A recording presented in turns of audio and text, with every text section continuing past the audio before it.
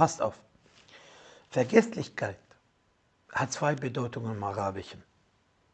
Eine Vergesslichkeit in Form einer Barakallahu fikum, Eigenschaft, die negativ ist. Das wird ein Mangel.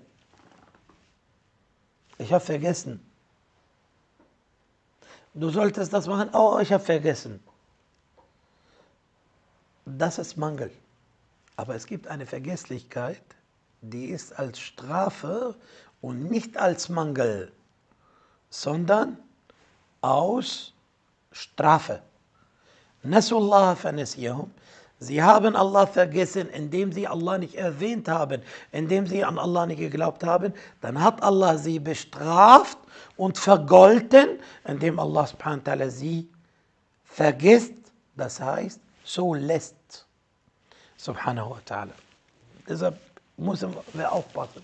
Jede Handlung, die Allah subhanahu zugeschrieben ist und die könnte mit unserem Verstand nicht zu vereinbaren sein, deshalb müssen wir verstehen, die Eigenschaften Allah subhanahu sind seine und unsere sind unsere. Wir können nicht sagen, aber Allah er hat eine äh, Eigenschaft Vergesslichkeit und da verstehen wir wie unsere Mangel.